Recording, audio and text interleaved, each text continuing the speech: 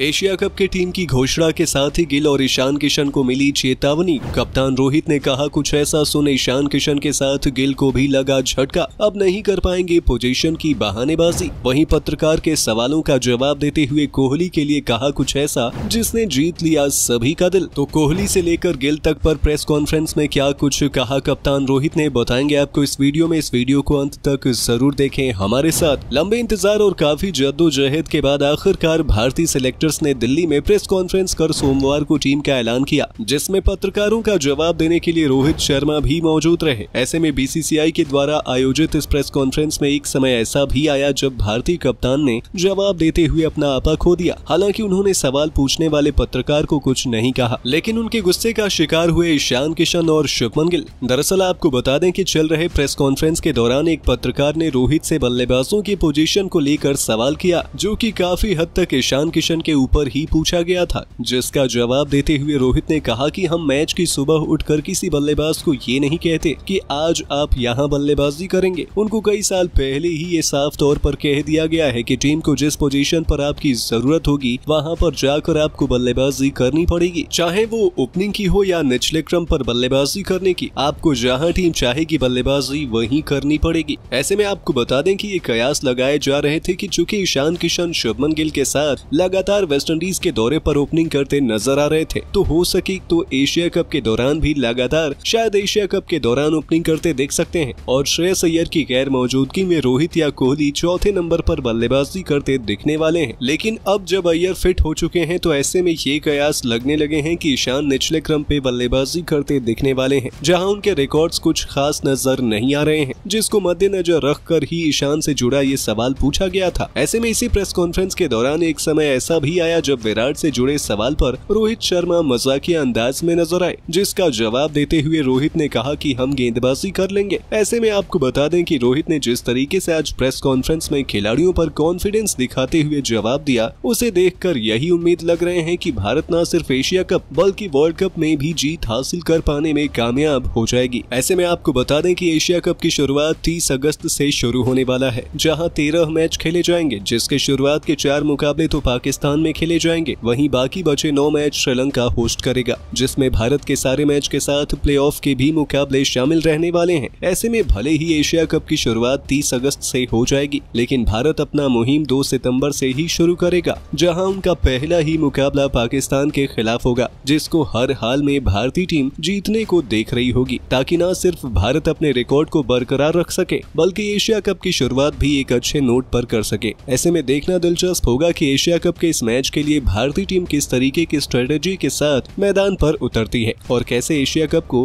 अपने नाम कर पाने में कामयाब हो पाती है? वैसे आपको क्या लगता है, इस स्क्वाड के साथ भारत इस बार का एशिया कप जीतने में कामयाब हो जाएगी? हमें अपने जवाब कमेंट में ज़रूर बताइए और ऐसे ही शानदार खबरों के लिए सब्सक्राइब कर लीजिए हमारे यूट्यूब चैनल को।